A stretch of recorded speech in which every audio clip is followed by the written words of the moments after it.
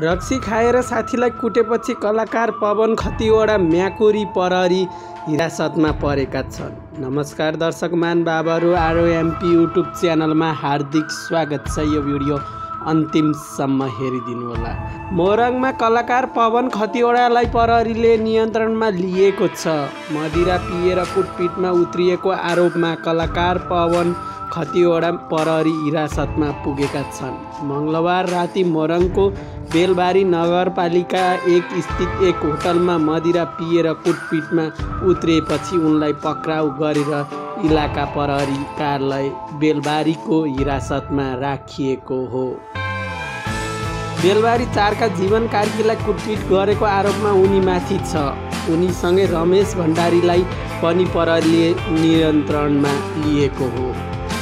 पीडित पक्ष इलाका प्रहरी कार्यालय बेलबारीमा आएका अहिलेसम्म जाहेरी भनेको दिएको छैन। उनीहरूले बेलबारीका एक युवालाई कुटपिट गरेको पाएपछि पक्राउ गरिएको प्रहरीले बताएका छन्।